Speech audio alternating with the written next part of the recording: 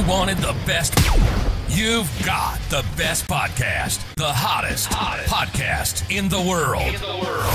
The Chris Voss Show, the preeminent podcast with guests so smart you may experience serious brain bleed. Get ready, get ready. Strap yourself in. Keep your hands, arms, and legs inside the vehicle at all times, because you're about to go on a monster education roller coaster with your brain. Now, here's your host, Chris Voss. Hi, folks. Chris Voss here from the ChrisVossShow.com. The Chris Voss Show. I'm just here for the brain bleed. That sounds stupid, but it's funny. Anyway, guys, thanks for tuning in. I hope you're all here for the brain bleed. Or, you know, I, I think it's midweek right now. You're probably watching this 10 years going, what, what the hell, Chris? Uh, no, it's midweek right now, and your brain might be bleeding. What do they call this day? They call it hump day. I think that's where I don't know. I'm not going to make any jokes for that, or else I'll probably get banned on YouTube. Uh, anyway, guys, wh- thank you for coming by the show. We certainly appreciate you guys always. You guys are the best audience in the world. Have we ever had that discussion? Have we ever sat down and said, "Let's talk"? Let's have a discussion. You guys are the best audience in the world. We're approaching uh, 13 years tomorrow. Officially, is our thing. Thank you for giving us the great month. Uh, we, the the numbers this month have been up 30 percent than normal, and we're 13 years old. So I don't know. What are we doing right after 13 years? I guess we finally, we finally, we finally got through to people. Damn it. millions of downloads in uh, the last month of 13 years. You guys decide to show up or something. I don't know. But thank you for referring the show to your friends and family. Clearly, a bunch of you are doing that, uh, sending it out there. Be sure to go to iTunes, give us a uh, five star review over there. We certainly appreciate that as well. And uh, it makes it so I don't cry in between the shows going, I wish there was more reviews. Why don't they love me? anyway, guys, I love you back. The family loves you, but doesn't judge you. The Chris Voss Show. Go to LinkedIn, our big group, 122,000 people over there. The LinkedIn newsletter, goodreads.com, for Chris Voss, all those crazy places on the internet. Uh, you can find us. Today, we have another amazing author on the show. Uh, she is the author of the book, When the Ice Melts, the story of Coralyn Jewel. Uh, came out June 21, 20.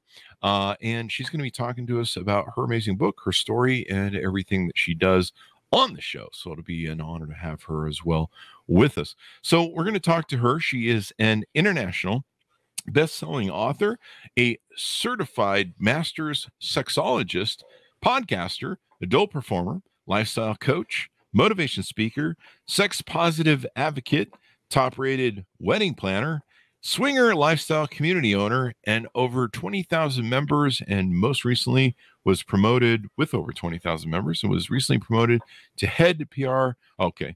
Uh, so she does some real PR too. Uh, she was graced on the covers and pages of AVN, Las Vegas Journal, ASN Lifestyle, Lifestylers Magazine, and Night Moves magazines. She was voted the top 100 sexologists for pleaseme.com. Man, I didn't even make the top 100. You must have pushed me out. Uh, and uh, 20 and 22, 21, 22 have brought uh, multiple ASN Lifestyle Magazine awards and nominations. Uh, uh, welcome to the show, Coralyn. How are you? I'm good. Thank you for having me. How are you today, Chris? There you go. As someone who's a Las Vegas native, I, I sure know what uh, ASN is all, or AVN is all about. yeah, I was just in Las Vegas. I just came home yesterday.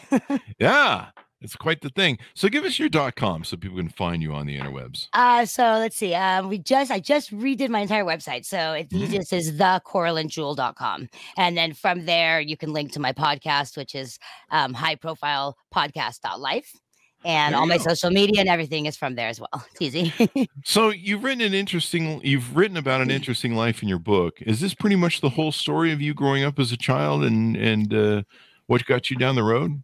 Yeah, so my book is kind of interesting. I was, um, you know, it's, it's kind of like you know when life throws you a curveball, and you know you have to decide like, is that something I should do or should I not do? Um, I grew up. I was born in South Africa. I was immigrated from South Africa when I was three oh. years old.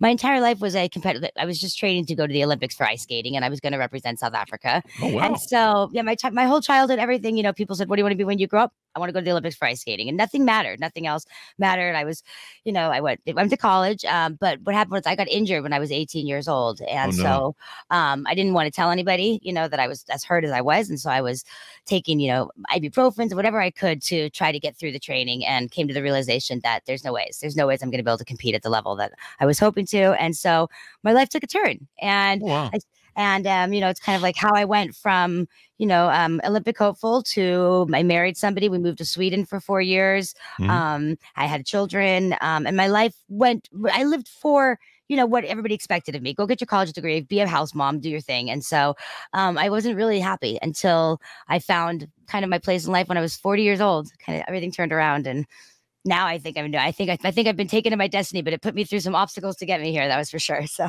There you go. So you do coaching, you help people, you do work in your business. Tell us how. To, I mean, what was the crossover that when you went from you went from housewife into you know the adult industry? So, I mean, I was brought up, I was brought up a really, really good family and I had great parents and everything. But um, just like I think most parents and most families, you know, sex wasn't, it wasn't openly discussed. You didn't discuss nudity. You didn't discuss uh, masturbation, puberty, orgasms, anything like that. And so, you know, it was just like everything was on the down low.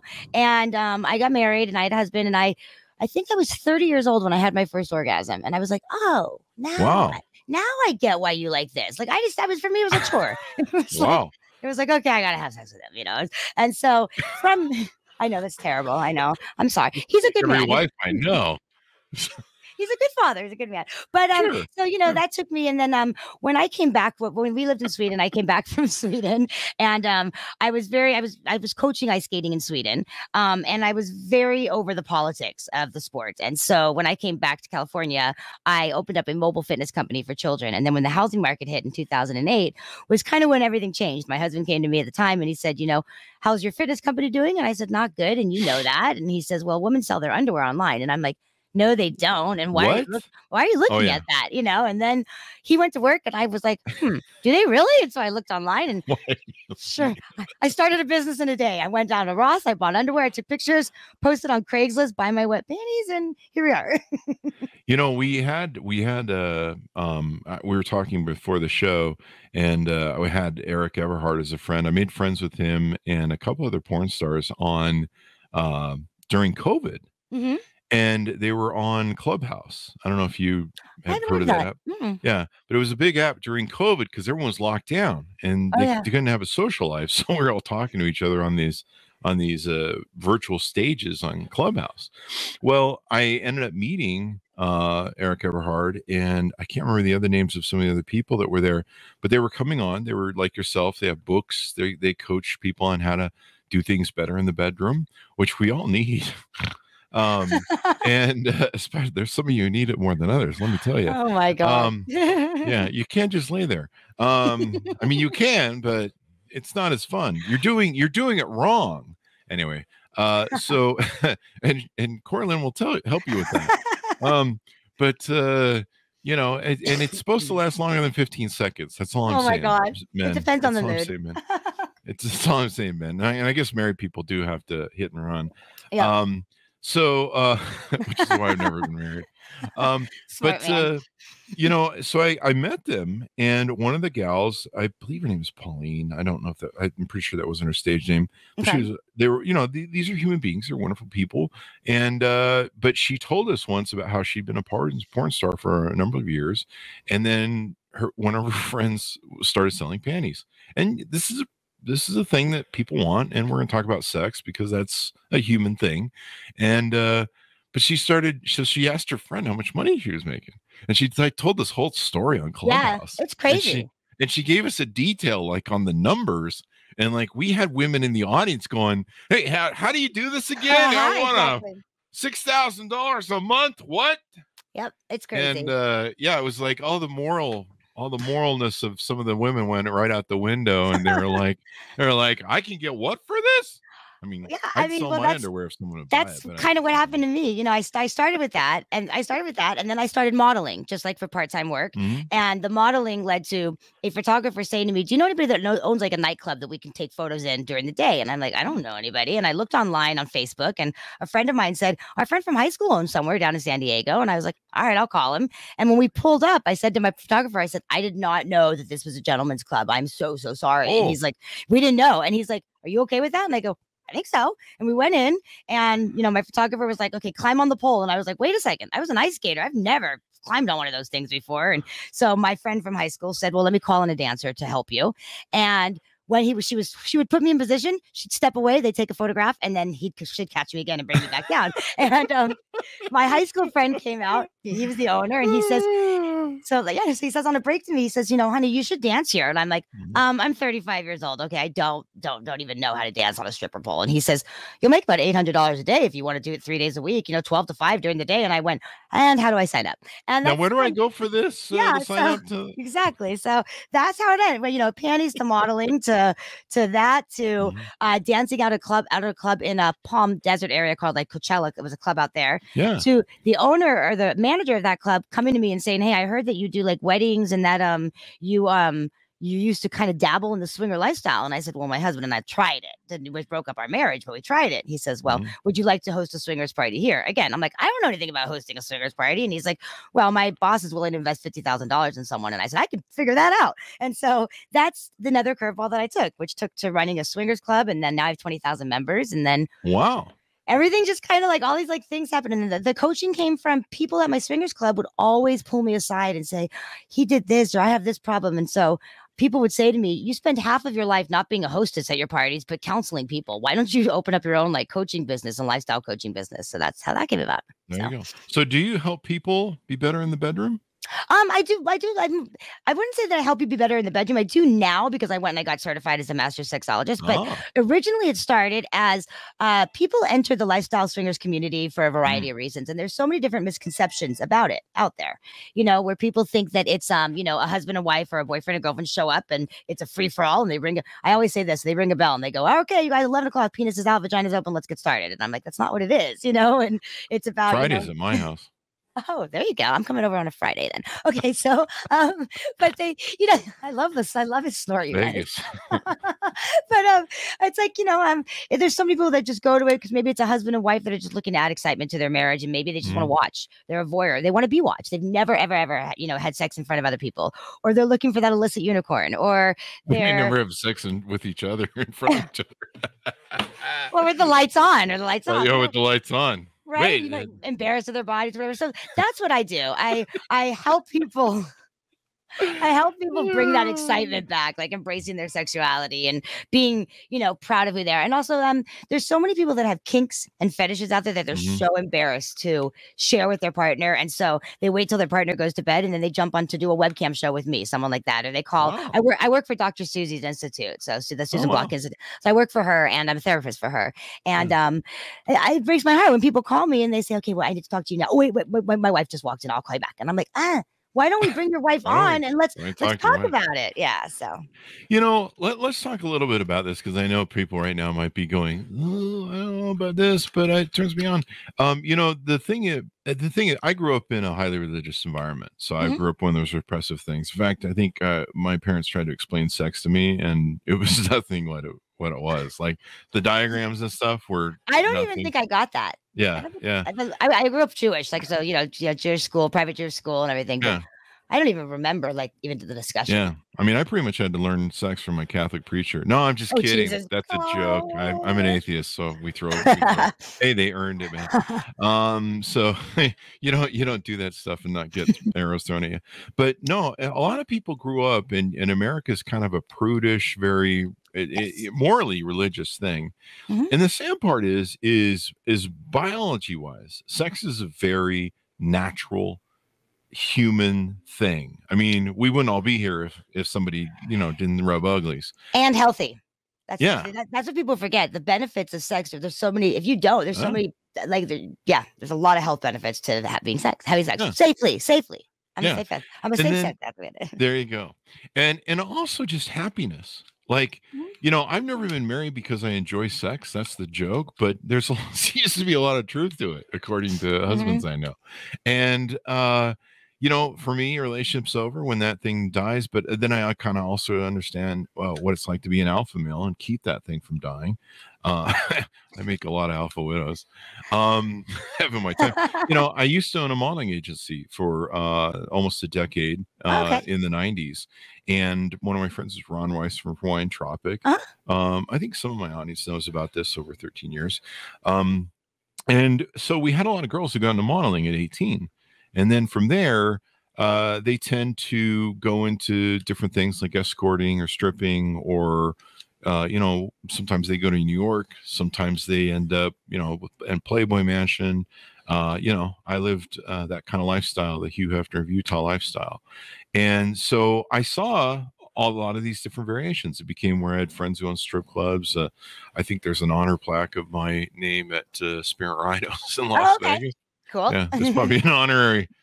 He's come here more than once, but no, sex is a very uh, natural thing and it's an important thing. And if you have a relationship, it's an important thing to the health of your relationship because if you're not having sex with each other in your marriage, well, then who are you having sex with? we live in such a we live in a country that's so um you know we, it's we, we get in such a monotone um you know routine of life so you know you get up you take the kids to school you got your breakfast you go to work you sit in your traffic you commute you come home you do the dinner the laundry the cleaning the this and before you know it, you're going to bed so you know uh, we forget that um that's why you know we're one of the countries that has mo- the most heart attacks and early deaths and highest stress Cancer. yeah, th- you know, and we eat like shit.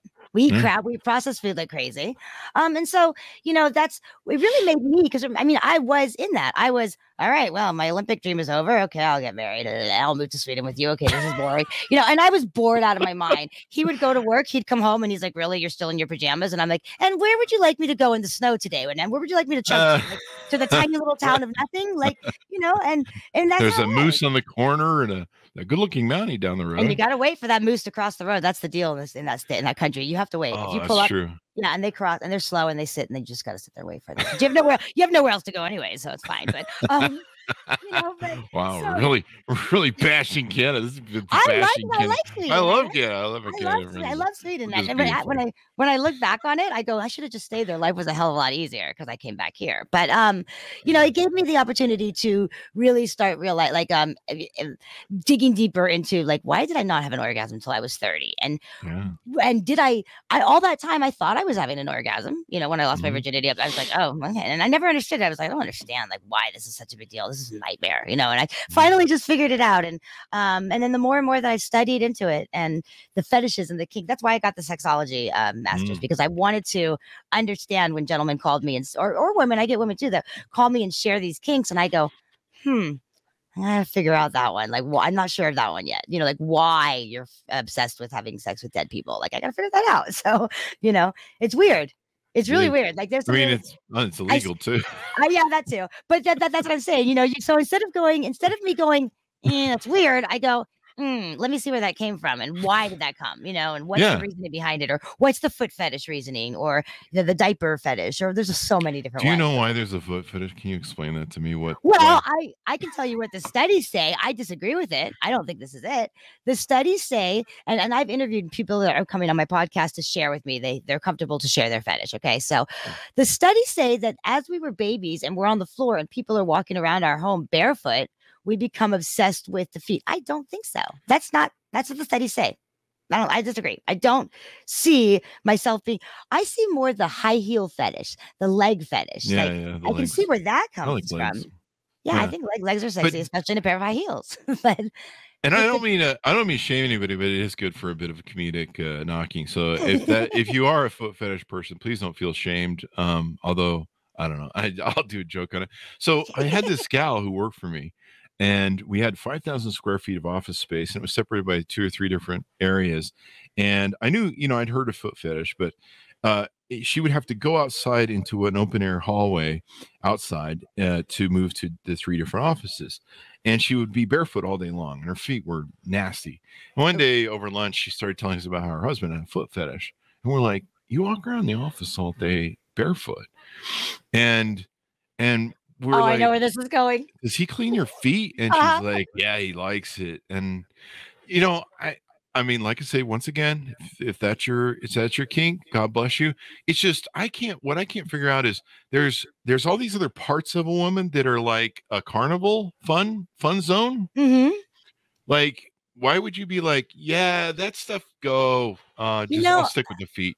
I think also, I think also, I know, I know. I mean, I, yeah, That's my you- joke. Isn't that? That's, well, I could see you. I, I knew you were going there, but like the foot thing, it's more of a um. He wa- it's, it's a submissive to your partner. Uh-huh. so it's taking rubbing her feet cleaning her feet licking her feet you know um pampering them manicures you know or pedicures Mm. sorry stuff like that you know um and that's also part of it but i do get Ah, i do get sense. i get men on the like webcam shows that go Coralyn i just the, the stinkier the feet that are your feet really stinky and you want to be like no like i'm clean but you're like oh yeah honey they are so st- they stink Yeah. you know Uh, because that's what they want Yeah, sure.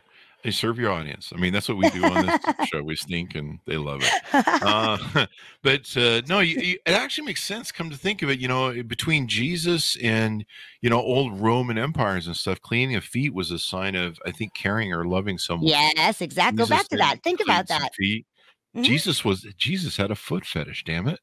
Uh, anyway, wow, that's just no wonder I'm an atheist. it's Anyway, guys, we yeah. just discovered that we just discovered something on this show but no sex is really important and i i was really lucky that very early on in my 20s you know i i was your average teenage boy and very quick on the on the action there and uh somewhere in my 18 19 20th year a friend of mine gave me a book and it was like 365 positions of the year Oh.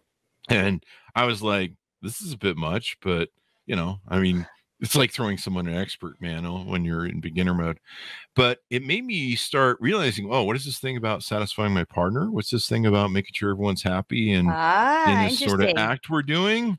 And uh and then i got interested in that and and everything else and you know making sure that my partner is ha- reaches her completion multiple times and uh has that big finale.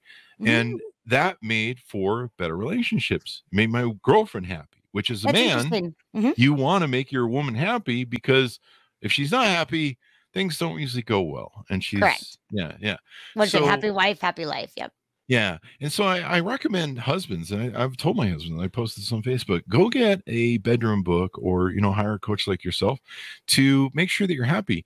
I, I'll never forget, and I'll quit pontificating, but I'm laying a mm-hmm. foundation for my audience to realize that this is important stuff, guys. We're not just not It talking is. about, oh, the, the stuff you do at night when you're on the computer. You, eh, be, you want to be have a healthy relationship with sex. I remember being 28 and I gave a gal that I had just barely met, started dating, her first orgasm she'd ever had in her whole life. I think she was about 25. And she sat on the bed crying, just like sobbing. And I thought I'd done something wrong, like it hurt her or something. And I go, What's you know, what's going on? Are you okay? And she was, I mean, it was like that death sobbing, you know, that shaking and Uh-huh. and she's like, You gave me my first orgasm I've ever had. No man's ever given me an orgasm. And I it shocked me because I live kind of in a different world. And I was like, Are you serious? You're 25. That- yeah, is- but it's because you don't, you know, you don't know. I mean, when I, I lost my virginity, um, 18 or 19, I think, but Mhm. I had a female ejaculation. We call it squirting. Okay. Mm-hmm. I thought that was an orgasm. So that Hmm. was it. So, and, and there, there was no, there was no internet at the time, you know? So my boyfriend, he was, uh, you know, in the, in the fraternity next door and he's like, you peed on me. You're disgusting. He told all the guys in the oh house. wow, that's bad. So embarrassed. And I Mhm. went down to the San Diego State Library and I went to go, what to go look, you know, where you put the little things in and you look it up. And I saw that 10% of women have female vagina. I went back to him and I go, ha, you're lucky. Look at this. And I showed him, you know, and ah, that's what I thought was an orgasm. And for me, Mm. I was like, well, okay, you know, this is it, you know? And so up Wow. until the age of 30, to me, that was an orgasm. And Yeah. it wasn't anything that I craved or was like, oh my God, I need to have it, you know? Mm-mm. Not isn't it insane how few women have lot. orgasms? Yeah, I think more now because you're more open to experience it. Also, like Yeah. the, the thing with like with with squirting is that technically almost any you any woman can do it, but it's a feeling of like you have to urinate. And so you hold it back and you don't realize, you know. And then when I tell people, I mean, I work for a company, I work for a gentleman at the AVNs. Um, so it's uh he's a biological scientist and it's a watch that developed he developed a watch with another adult performer measuring the uh, frequency and velocity that you finger a woman out to make her have a female Mm. ejaculation. And the watch turns green as you like go like this. So, anyways, Oh, really? um, yeah, it's I have one, but I get my arm, my arm gets- my arm gets tired. I'm always like, I'm so tired. I'm tired. But um, he they do now you know what a man feels like. Right? But I've watched Where's it. that like, damn G spot? I've watched him like take women who say like, "There's no ways I can't do it," and I'm like, "He'll make you squirt," and they're like, "He won't make me squirt," and I'm like, "He will. I'll go with you and I'll show you," and he does. You Yeah. know, and women go, "Oh my god, that's what it is." Ah, oh, I like it now, you know. So Yeah. you just have to embrace your sexuality. You have to. Who cares if people are going to judge you? That's Mm-hmm. my biggest thing. You know, my biggest thing is the judgment in our country, and Mm-hmm. the you know, and, and how masturbation is terrible, nudity is terrible, and be, role play is terrible, and how dare you consider even having another person in the bedroom with you? Three of you, that's disgusting. You know, and it's the Mhm. fact of the matter is everybody's got that fetish or fantasy, whatever it may be, and embrace it. Try it. If you don't Yeah. like somebody's fe- fetish, then it's none of your business. It's not your Yeah. body. Then stay out of it. So it- it's sad that in this country we have that moral hang up it's you know the other thing to me was uh, you know i and i think i had this uh, fear as you know a boyfriend as a man i'm like you know if i don't make her happy in the bedroom she's probably going to leave me Mhm. so you know that's another reason and i don't i don't understand I, mean, I guess a lot of married people can just be like well i'm married to her so uh, you know i don't have to well we call happy. it the um yeah the married situation i call it the i shoulda woulda coulda syndrome you know Uh-huh. and that is i can't tell you how many times in my life i talk to somebody who's older now and they say to me you know i should have left that relationship sooner but you know i, I, there was kids and i stayed for the kids or Mhm. i hated i hated my job i should have left that sooner but you know and how i mean I, I have i have friends that are he's like 72 years old and they're like you know going through a divorce after 42 years and they go Coralyn do i swipe left or right on tinder like what do i do or tinder not Tinder. I'm like, or tinder and i'm like don't you don't even go on tinder no no no no that's Mhm. not for you because imagine trying to get back into the dating world now after being Mhm. married for 42 years you know that's like Yeah. what the, what is god what's happened right? Yeah i see a lot of that in my dating pool that everything's online you know but that's it i mean you know it's um it's you know i just i meet people so many times they go i should have gotten out of that marriage I should and so i try to encourage people if you're not happy and you're not willing to you, you haven't discussed this with your partner you're going to be in that category of 72 years old and starting all over again do you want to be there? Yeah and you you want to have I mean to me what i've learned just from a psychology sense a Mhm. love sense uh you know everything about it is very natural and important and healthy. Uh you know i've seen uh, uh you know psychologists talk about how having regular sex with your partner is a very important part of it. And to me if you're going to raise kids if you're going to be happy in your marriage you're going to be happy in your relationship you know making a woman happy is really important. She's going to make you happy. I mean it's kind of when you're both there you're trying to rub the uglies and and make each other happy for you know half an hour hour Yeah, two and hours however long well there's so many do i you also, yeah well you also have to put you have to put a like a twist on it so Yeah. role role play date Yeah. night make a time make time for date night. Um do something that your partner would never expect for you. Uh put something in the, when they t- pack a lunch put something in that lunchbox you know? Um Mm. i mean things that you would do for your kids like have a good day at school baby. Mommy loves you. Do it for your husband. Do it for your partner. Exactly yeah. go to the office early and leave something on the desk like a pair of panties that are sitting in the drawer and be like i'll be waiting for you when you get home. Random shit like that just goes holy crap. Like there's a little bit of excitement like oh my god what's she gonna do when i get home tonight? Like i'm going home early you know? Or what is it? So and, and people that are regularly you know in the bedroom let's put it that way Mhm. and and passing out from cold sweats and too many too many uh shaking orgasms. Yep. Um you know they're happier. They love you more. They're wonderful to be around. Trust me i'm 54 there's a reason i'm not married and have a good sex life is Right. because it's because i i don't i can't do a relationship if there's no sex. Once the sex drops off in a relationship in my early years sometimes i didn't understand the alpha thing that i was doing and i, I get a little betatized but you know i i understand the whole dynamic of it now but even then I've never met a girlfriend that I can't have. There might be one or two that I met that I haven't had that can orgasm, multiple orgasm, Mhm. and even then, I just didn't work with them long enough to where you know uh, you can you can get it done. But yeah, it's it's uh it's really important. It'll make your life better. So I highly recommend this. This is the whole reason I'm talking about this on the show. It's because I want people to know this. This can really make everyone's life better. It'll make your It your can, children be happier because both the parents are happier. Yeah, right. And then there's there's people, you know, that you know, it's okay to say to your partner, you know, your wife Mm-hmm. or husband, hey, let's let's go. We're not you're not going to talk to a therapist. Like, let's go talk to a sex coach and let's get some ideas to bring the you know some excitement and some kink back or whatever. Mm-hmm. You know, but a lot of people are too scared to discuss, like, oh, I can't tell I can't tell my wife that I that I like to do this or I like to do that, or I can't tell my husband that this turns me on. I mean, I get women that call me that they like to take on that submissive role. Okay. Yeah. So be told, you know, get on your knees and you know, and please me when I come through the door, or spank, you know, but they don't want to do that with their husband because they don't want him, them to him to think, oh, you're you do this with everybody or whatever it may be, you know. And so I think it all comes down to, you know, be open and honest with your partner first. Yeah. Um, but I know so many people are so scared. Oh no, I'm Isn't telling it, isn't it amazing that people can't be honest with their partners, their they can be honest with their boss at work? Yeah. can it- be honest well, they can be honest with you. everybody else on the planet, but that person you're spending your life with. Yes, it drives me crazy because you know, and I say, how come you can tell me, but you can't tell them? Well, because you're a stranger over the phone. You know, we don't, you don't see, I can't see you. I don't Yeah. know what you look like. And I'm like, okay, I won't Yeah. tell you my full name then, because then you'll go find me. Yeah. But um to it's true. But It's um Yeah. um, you know, to me, and then also like the masturbation thing. Do you know how many people come to me and they go, oh, I, haven't, I haven't masturbated in six days. If she catches me masturbating, and I'm like, what?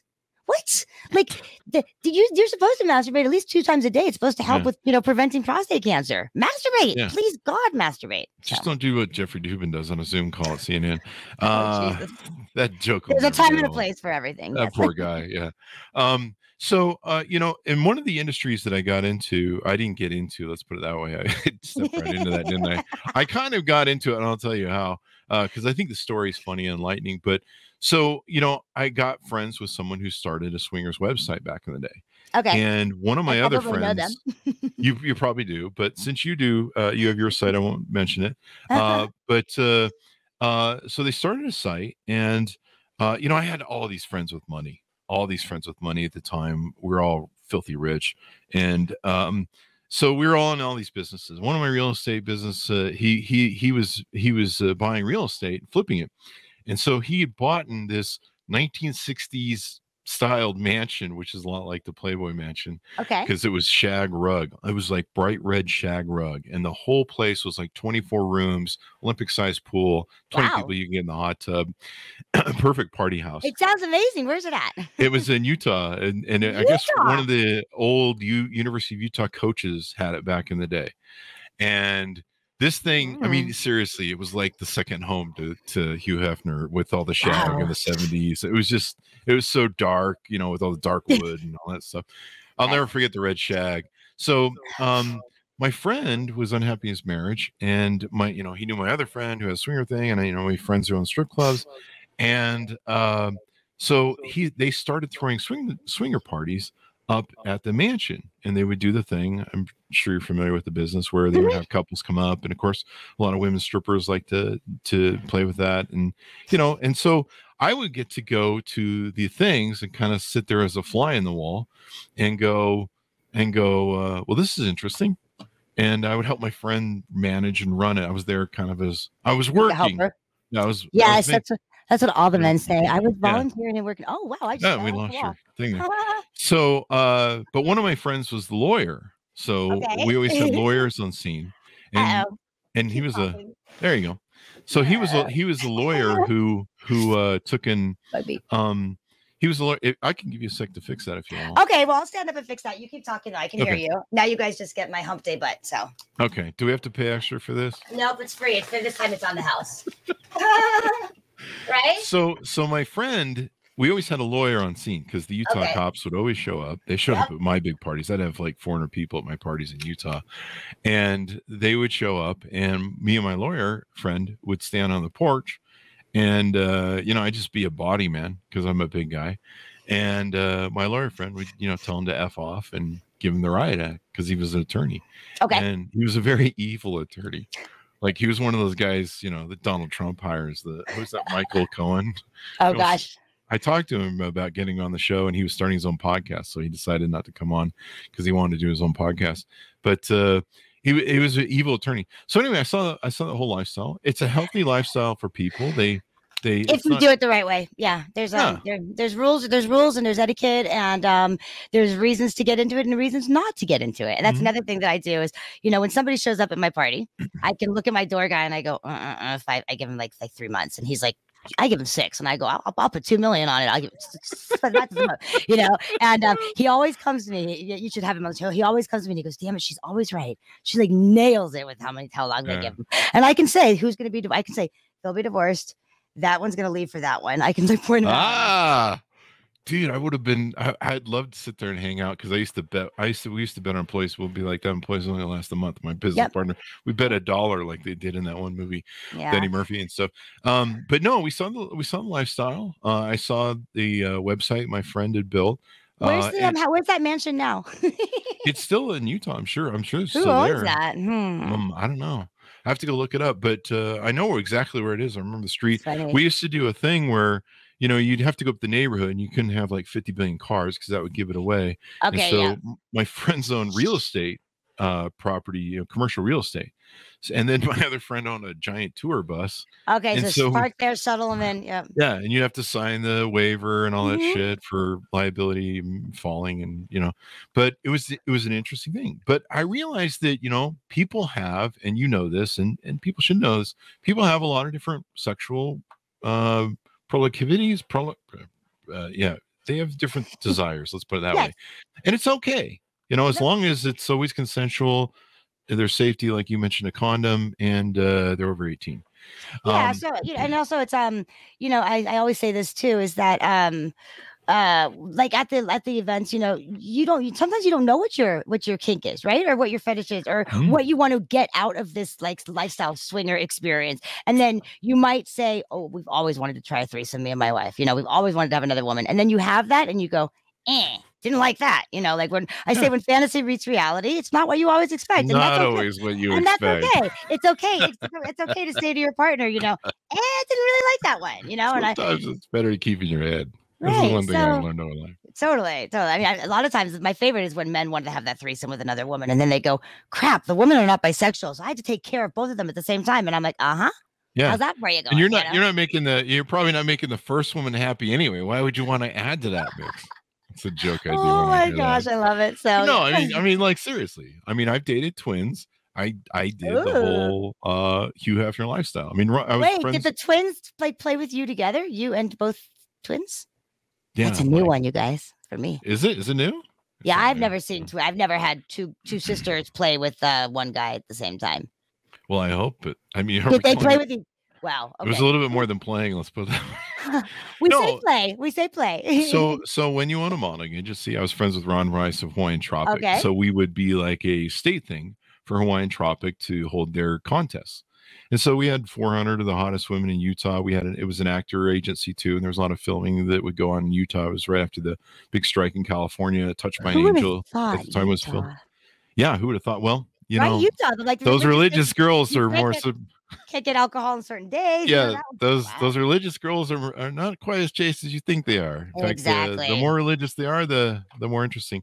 But uh, so we would we would do all that. But no, I just it's just really important for people to realize that you know sex is a healthy thing, and you want to make your partner happy. So talk to us about maybe some coaching that you do and some other aspects on top of the book.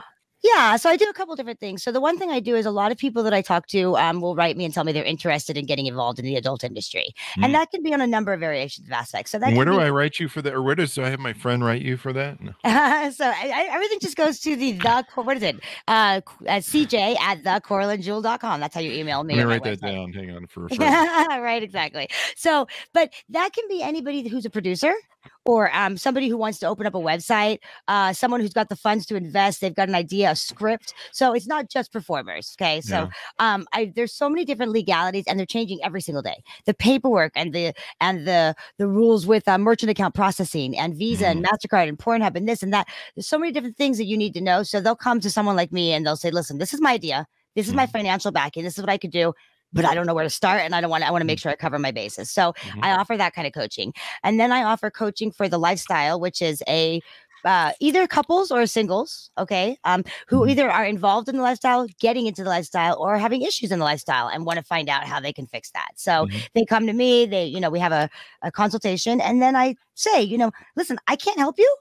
But I think this person can, or um, I can help you, and this is how I can help you. I really feel that um, I can't help anybody that's you know going through alcohol addiction or sobriety or you know drug addiction or um, you know they're going through rehab or they've been sexually molested. I don't feel like if I'm qualified if I haven't walked in your shoes. Does that make Yeah. sense? Yeah. Um, and where something like this, you know, I'm divorced because of the lifestyle. I mean, my husband and I lost a 14 year marriage because of it. And people say, why on earth would you stay in it and run a club? What, what are you thinking? You know, and I say, because it's open mindedness. You can wear what you want, say what you want, be who you want, and there's not supposed to be judgment. Now, there is judgment. People are catty, you know, there's high school judgment and everything. When you're, you know, Yeah. 58, 56 years old, they still talk shit. But, um, you know, the, it's true. But, you know, it, it, is it is an environment where there's more open mindedness to accepting people. And um, that's why I stayed into the into the community. And that's why I create my community is different from other communities. I don't judge you on your Mhm. age or your nationality or if you're six feet and 400 pounds or if you're five feet and three. I don't care. You know, Yeah. are you a cool person? Are you open minded? Are you willing to embrace your sexuality? Then you're welcome to my club. Be respectful to others, be respectful to yourself, and you're welcome. So, Yeah.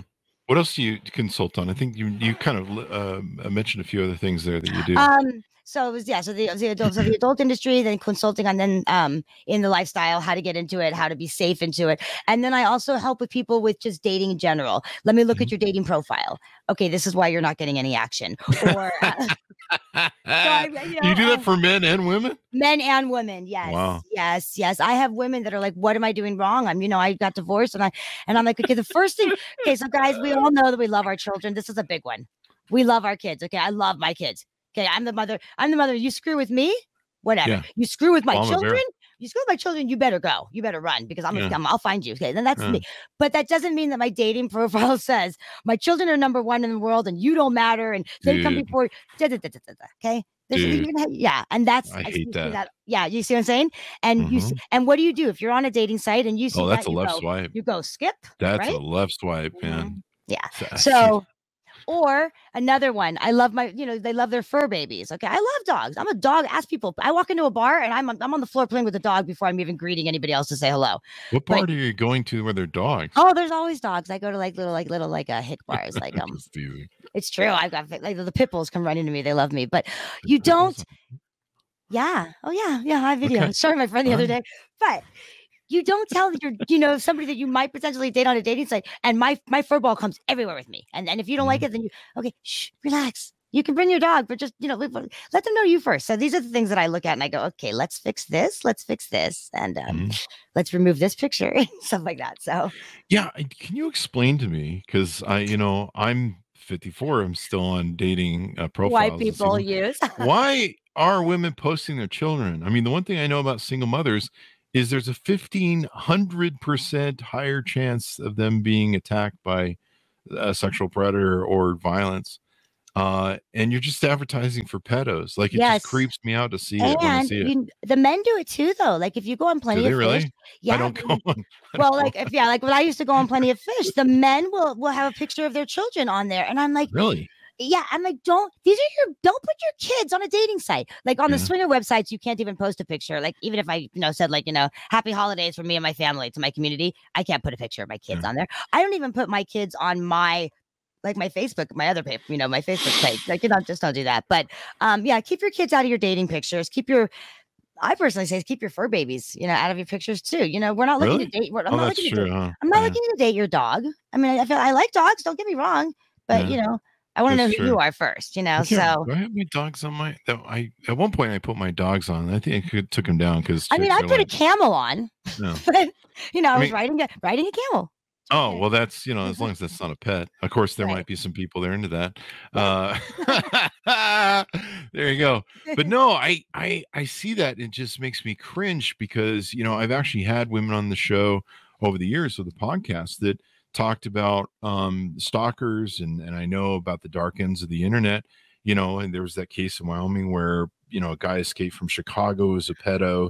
He finds a young girl just Oh, uh, God. in her bathing suit out front and and all the horror Oh, begins. makes me sick. Yeah. I and mean, so I'm like, why would you put your chill? I mean, Yeah, are you no. advertising for a pedo? Or are you advertising for a boyfriend? And here's another thing, another thing that I talk about too, uh, just safety in general for men and women, Yeah, and all. yeah. You know, all the catfishing. I had a very, I had some interesting guests. I had some interesting guests on my podcast.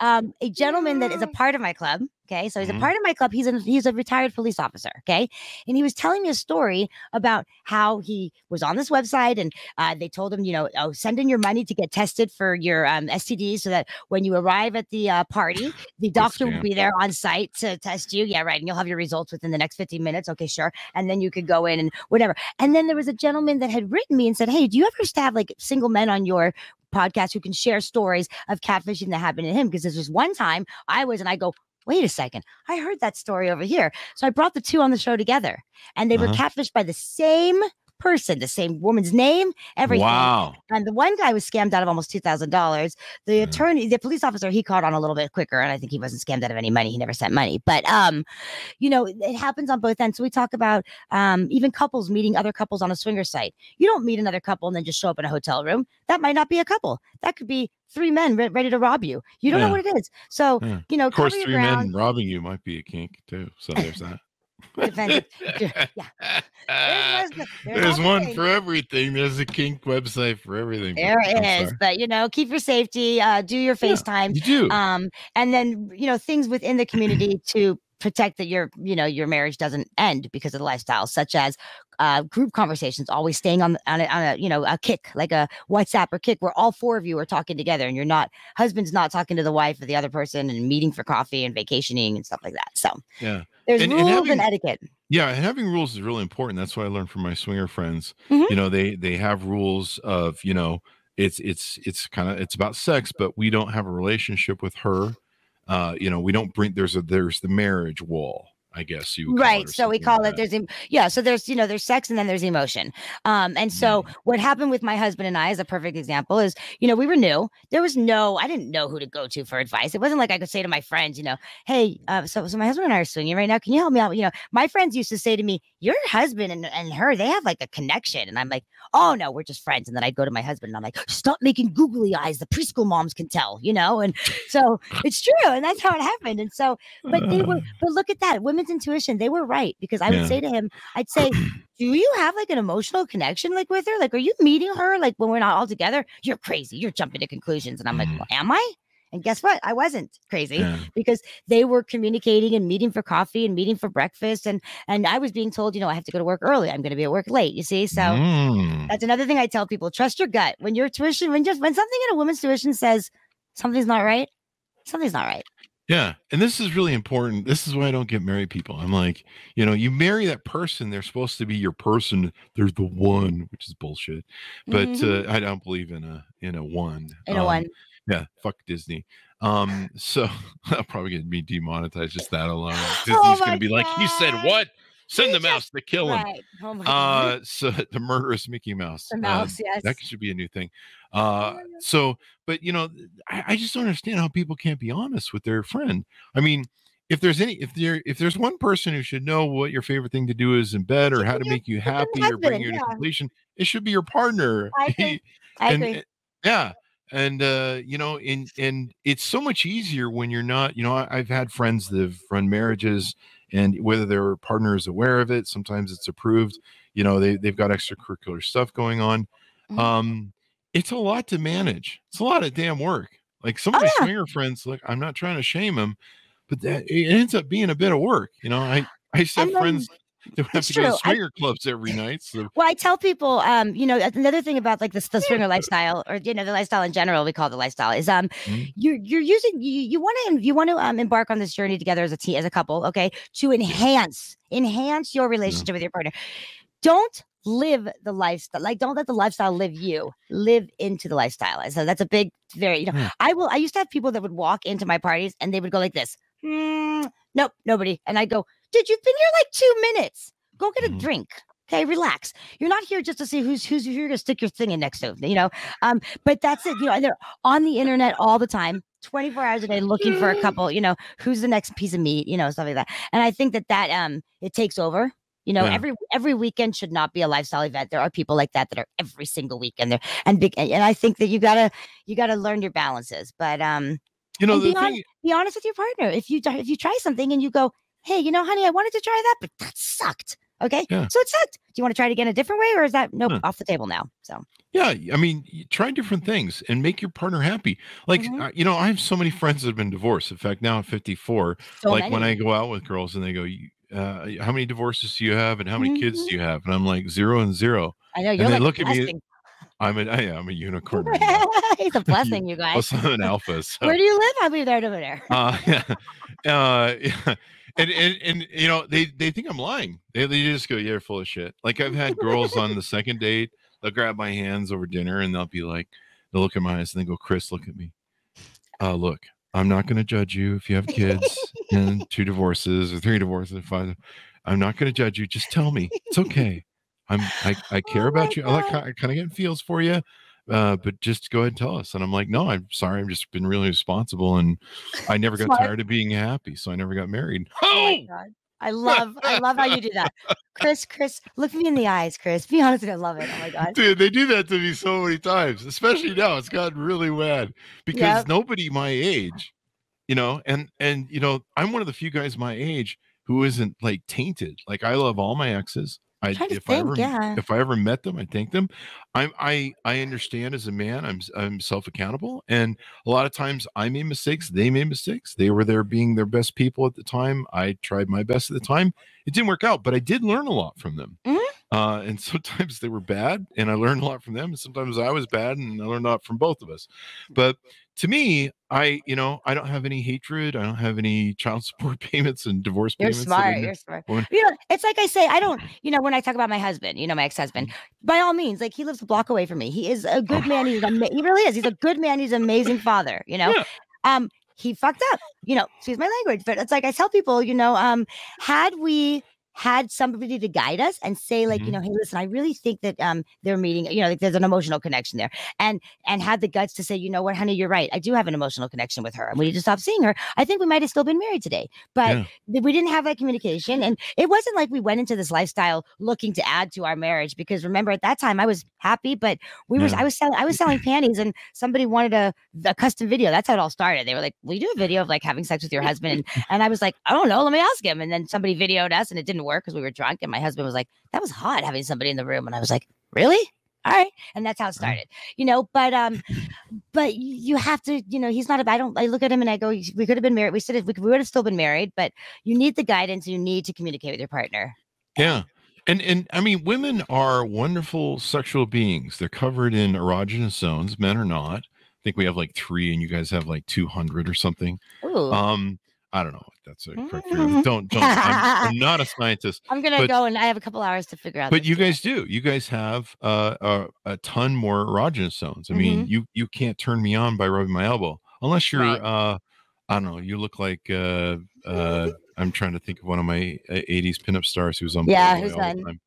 Carmen Electra, Mm. who I met in person. oh um, okay or or uh, who's the blonde who's on Baywatch? Those are my two things. uh, Or Farrah Fawcett.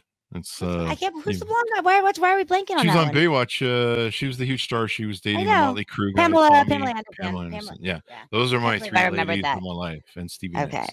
So um, Oh. that's why I'm still single. I'm married in my head to all of them. Uh, but and, and Carmen Electra, meeting her in person is very sweet. We had her uh, ex-husband on the show, the guitarist. okay Um, but uh, no, the point I'm trying to make, guys, is make your partner happy. You know, is uh, you know, like I said, I knew all the uh, the divorce joke that I was setting up there about how I know everyone who's divorced is like if I was married, I'd be like, I want to make her happy in the bedroom, and I'll make sure I'm happy in the bedroom so that we can have a solid relationship. Because I know how expensive divorce is. I mean, I love her, and I don't want her to divorce me. and that's another thing that I tell people too is that um you've got to establish that that connection with your partner before you Yeah. get involved in the lifestyle um and try to get other people involved. So Yeah. even like someone like me, I dated somebody for three years.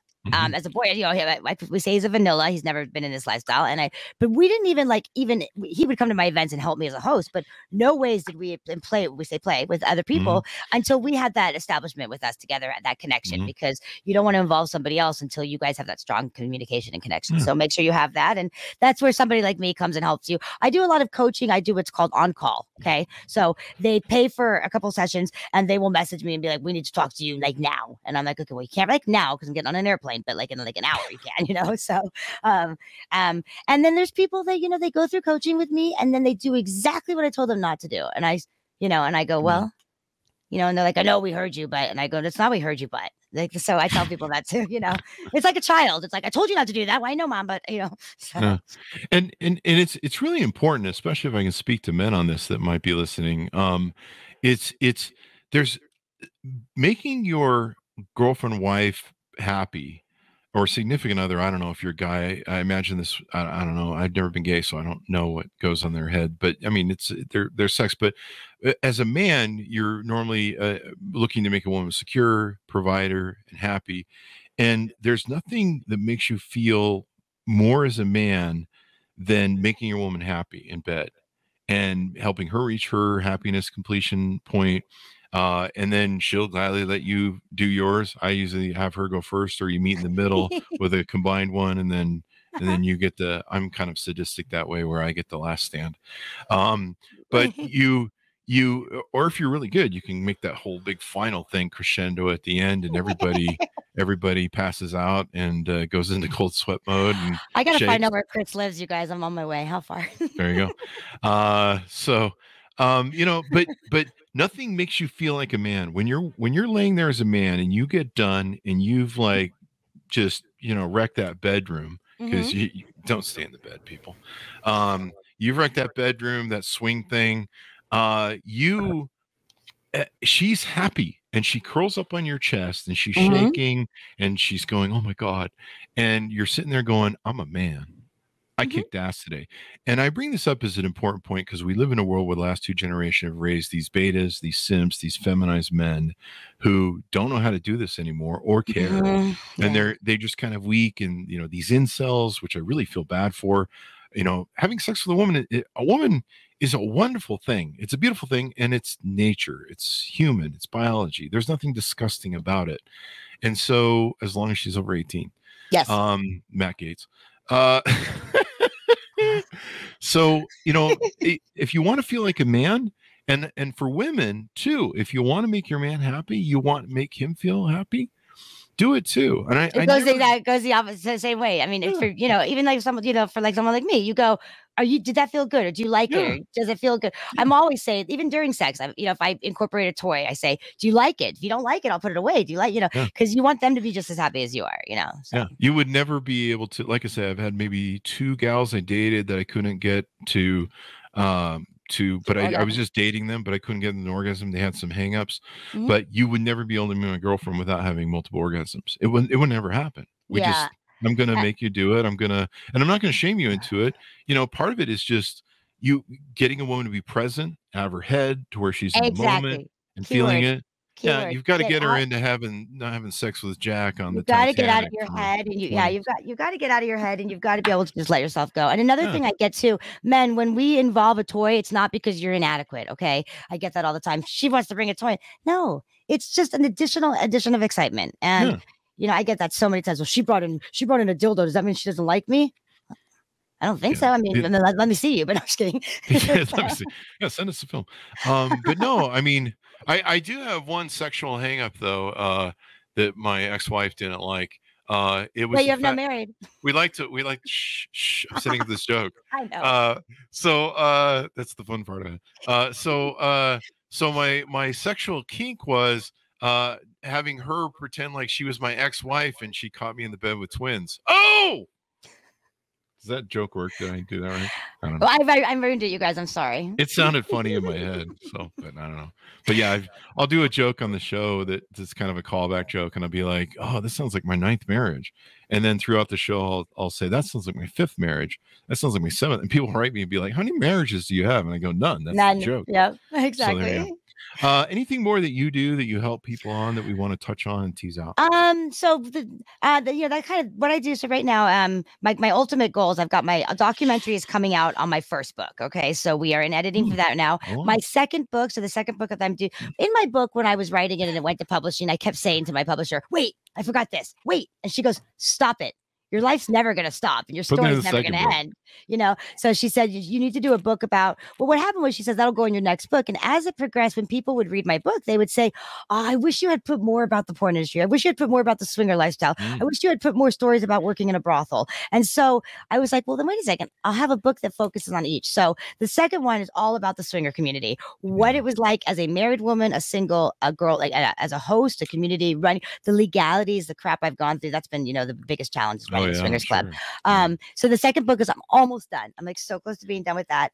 Um, and I've got my podcast, which uh is all about you know adult adult topics, anything that has to do like I brought my scientist on or somebody. I had a priest on who was a you know whole life was all about being a priest and you know going through all the training. And then right before he was supposed to complete, he ended up changing his mind, and now he makes videos where he teaches about sex and yeah, and they're like they're like porn. Yeah, so, and I'm like, what did your parents say? And he's like, yeah, they were not happy. But you know, Yeah. um, so I bring people on like that. Um, I try to show um my listeners and my viewers that just because you're an adult performer doesn't mean you're not educated doesn't mean you you know uh, you, you came from a sexually abused relationship or you're a drug addict. I've had um one of my guests my re- recent guest she's known as like the gangbang queen of the industry and Mhm. she is one semester away from being a physician. She was a medic for the military for six years.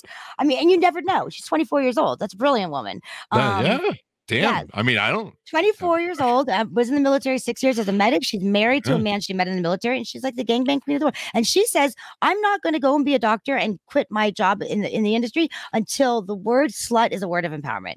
And I'm like, "Damn!" Like, so you know, that's why I do what I do. And then I travel. I do seminars. That's why I'm always like on an airplane. I go and I teach people about embracing your sexuality and live your life for you. That's a big thing I do. Is we all live our lives to you know what we're expected of, right? You know, live that picket, the white picket fence, get married, two kids, get your college degree, have the fur babies, right? And um, and then you're not happy, and then you go to the I shoulda, woulda, coulda syndrome. And so I travel and I teach people until you are happy to say who you are and live for you, and say, you know Mhm. what, I'm I'm I'm a swinger. So what? Who are you hurting? You know, and Yeah. the more people, the more people that we can get in our country to embrace their sexuality, I think the less of you know this whole shh, don't masturbate, don't talk about having another partner. It's going to be not so much on the down low anymore. Yeah. It just it just astounds me because you know I, all my friends are married at this point at 54. Mhm.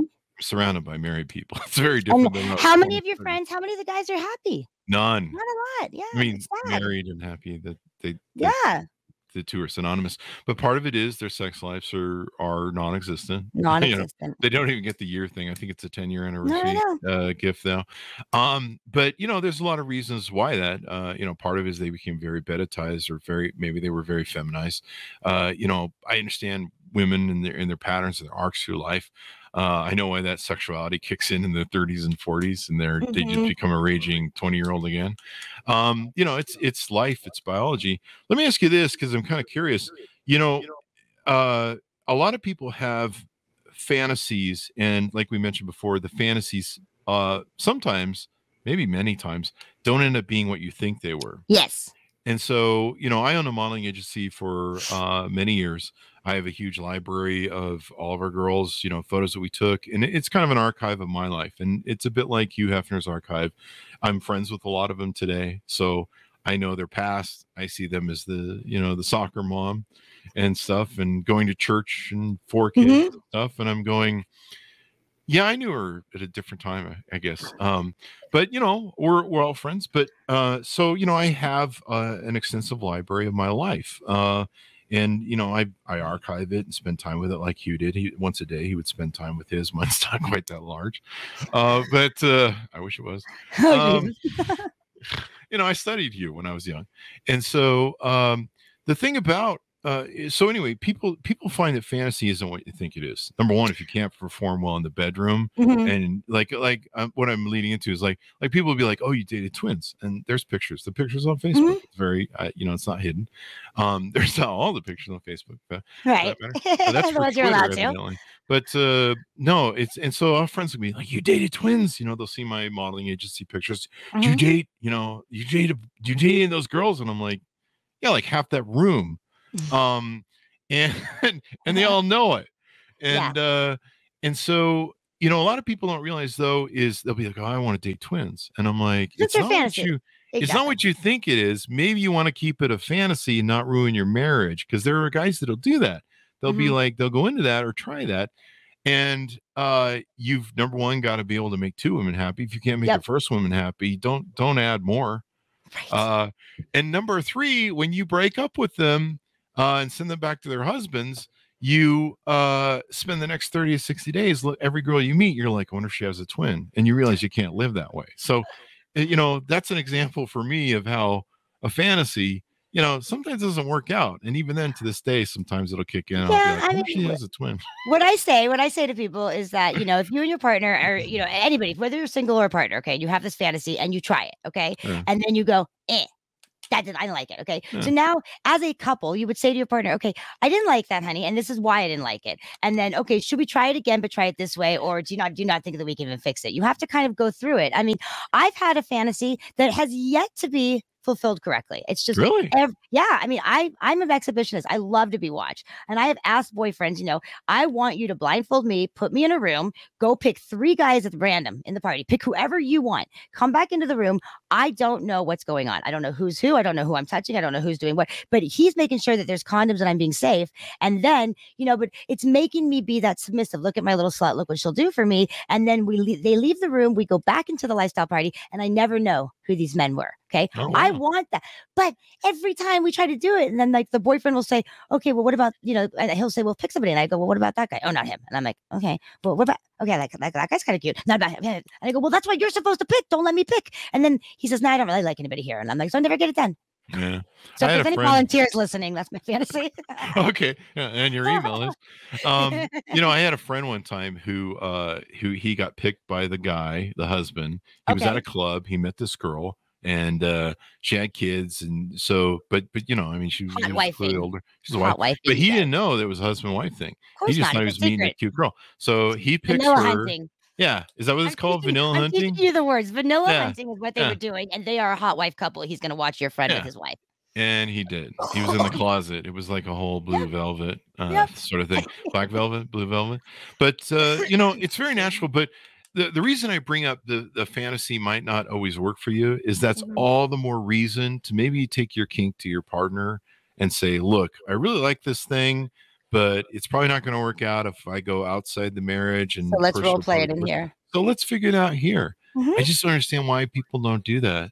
I mean, because women- they're too scared. They're too scared of the oh my god, what's wrong with you? Well, you're not happy. You know, now there's a fight. Now there's an Mhm. argument between us. Why do you want to do that? You, I'm not enough for you. Okay, I see how you are. You know, it's like no, that's not it. I'm trying. You know, Yeah. so that's the fear. And then I, that's the fear that people tell me all the time. I can't tell my partner. Are you crazy? Are you Yeah. crazy? She'll divorce me and she'll use me. You know, and I'm like. Then are Yeah. we really happy, or do you want to wait till you're 72 and then try over again, and then you can swipe left, right, or nothing on Tinder? You know, Yeah. there again.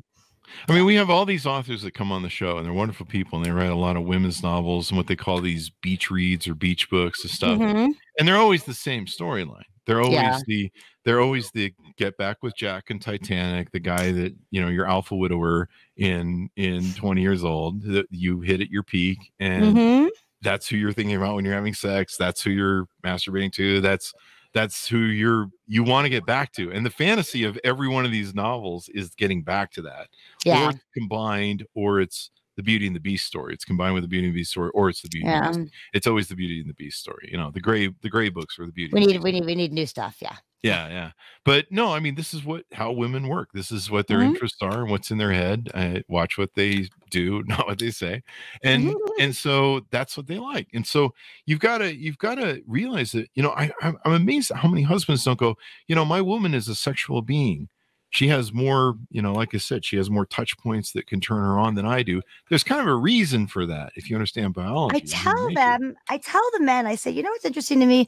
I bet that your wife is going, oh my God, he's so boring. And I wish that he would just come to me, you know. And I said, you, yeah, yeah, yeah, yeah. If you, I always say this too. How long have you been married? Okay, less than 10 years. You guys have any kids? No kids. Okay, perfect. So there's no alimony yet and there's no child support yet. So if I were you, this is your opportunity to go now. Say it now. Don't stick, you know, because ah, especially in California, after 10 years, you're fucked out here. So that's mean, true that's what I say. So go and say to your partner because she might look at you and be like, "Oh, thank God, I've been wanting to talk to you about that, but I was scared." You know, so you just don't know. yeah and women women you know i mean men are overt communicators women are covert communicators So Mhm. as a man, she expects you to lead for the most part. So you know, lead. Ask her. You know, let's get in, get into her stuff. Don't shame her and be like, "Oh, that's disgusting." You know, it bring your freak out, bring her freak out, and that's why people. Play That's why, together. peop- that's why they hire sometimes me as a middle person. Okay, Mhm. so they come together, then they go separate with me, and the husband Ah. will tell me things that she doesn't know, and he'll she'll tell me things, and then I go okay. And then we come back together, and then I say I am going to now tell what you've told me and you've told me, and we're going to talk about this all together, the three of us, you know, and we're going to go through. And there's no shaming, there's no judging. There, if you hit him or you hit her, like I get a lot of. I'm, he's, I can't believe he and I go put your hand down. You know, they're about to smack the partner. Wow. You know? Oh yeah, and I go hand down. Yeah, you know, and so, but then that way, that way, there's like a middle person. You know, there's me in the Yeah. middle going, "Hey, listen, stop talking for a second. I'm talking to her, or stop talking. I'm Mhm. talking to him." You know, and it works. It does Yeah. work. It's it's worked a lot of times. Um, I haven't had anybody that I've coached that has ended up ended up. I had one couple who had some issues, and then when I spoke with them, they said, "Well, we weren't 100 percent honest with you from the beginning." You know, Oh, and so then I was like, "Well, then I, I can't help you if you're not honest with me." yeah, so, that's true. You know, I can't help you if I if you guys are entering this because you know you guys have had affairs and you didn't tell me that. So yeah, yeah. So- Then so big message here. Uh, talk to Coralyn about uh, about uh, all the stuff that she does for you, but get a healthy sex life. Mhm. Um, you know, even if it's with yourself. Uh, you know, I I met women that that uh, and I, I never can trust what they say, but they'll say that they'd never had an orgasm privately to Probably them true. with themselves. Um, you know, and and there's women I've met that I'm like, hey, when's the last time uh, you uh, got some shampoo or we got down there and uh, cleaned that area up? And and they're like, they have like a disconnect because with the, the whole part of their body, and I'm like, what the hell? because you're so told you know now now you Mhm. focus on your children and you're you know that kind of stuff and so Yeah. you know there, i mean I, I i i can be the first to say that i used to say i could care less if i never had sex again i swear i used to say that i could care less it's a, totally irrelevant to me in my life because i've never had an orgasm i didn't realize what it does to your attitude and your body and your health and your your outlook on life and so i'm a different person now you know and i'm Yeah. I also used to think that I could only have one orgasm. Like, okay, that was it. Well, that was that was good. And now I'm like, holy crap, I'm like multi-orgasmic, you know, and I can have like mm-hmm. 20 in a session. Like that's crazy. You know, and and, and, and they get better and better. can. And you can, but a woman does, you know, sometimes you don't, you just don't, you're not educated on it. You don't realize it. You think it's bad. Uh, you don't want to be judged. And so, you know, anybody who's like listening and is like, okay, Kurt, I want to, re- I want to talk to her. So Yeah. just reach out to me. And I do seminars and I travel and I love, love, love, love, love, love what I do. And I love, I love seeing that person that waits for me at the uh, back of the room of the seminar, you know, and then everybody leaves and they just start crying and tell me everything. Like that makes me go, I'm here for a reason. So to me, there is nothing better than being a man. I'm saying this for the men in the audience. there is nothing that will make you feel more like a man when you've kicked her ass in the bedroom and she curls up beside you and you're you're you're her man god. You're you're the dude. And uh, there's nothing that makes her happier, and it'll make you happy too. I mean, just the sex part is fun, but you know, you just you just feel like a man. You're like, I Mhm. made my woman happy. Fuck yeah. I am the ruler of my world. If you understand how men work in our brains, yeah, yeah, being kings is is uh, our thing. And and man, when you don't have that, I, I don't know, I don't know how people live because I can never live that way. and that's you know with the Me Too movement, you know, all these women like the woman. I tell women, you know, listen, I'm an entrepreneur in the in the world. Okay, I am a Mhm. tough girl out there, but it's okay in the bedroom to be that submissive and let go and let go of that responsibility. Yeah. You know, you, you can call me a slut in the bedroom all you want. Call me a slut out there. You better watch out because I'm five feet and I will take you down. People know that. They go, they call me firecracker. And somebody just recently said she's been upgraded to dynamite. Like, but I mean, that's me. But That's in the bedroom, it's okay to it's okay to be submissive. And that goes for men as well. It's okay Yeah, to be like, some guys like that. honey, just dominate me for God's sakes. I don't want to make a decision in life today. You know what I mean? It's okay. Because you know, Yeah. you're you're businessman in the real world. That's why they go to dominatrixes and get dominated. So don't yeah, be because afraid. they have to be in leadership positions. You're all the always, yeah, you're always in a uh, leadership yeah. position. Think about it. You're a CEO of a huge company. People say that to me the oh, they're sissies. I'm like, listen, they're probably CEOs of huge companies, and that's why they go to a dominatrix so somebody else can tell them what to do and make the decision for a change. Yeah, You know? you want you, So- you want to get out of always having to be the guy. Exactly. So be don't be afraid to just let yourself go. And like it, it goes back to what did I say? Embrace your sexuality and just be who you are. And if somebody else has a problem with it, turn the other way. It's not a problem. They can and it's human nature people it's biology it's, it's Mhm. there's nothing dirty or filthy about it in fact if if people didn't do it we all wouldn't be here in fact that's the whole true. that's the whole reason we're doing is the is because we're animals and we're pro, uh, what is it we're proliferating society Yeah. well it's been wonderful to have you on the Thank show Thank you for having me on the show. it. Thank you. and uh, hopefully we uh, change some people's lives or sex lives or mean, Or if you just have a great in sex life, have general. a great life. just yeah. views in general. So hopefully, Yeah. you know, we get through to somebody that goes, hmm,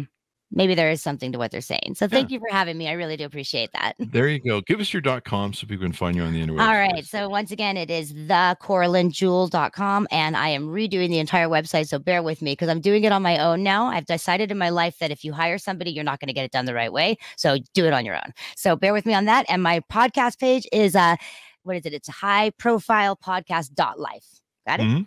There you go. Working there you go.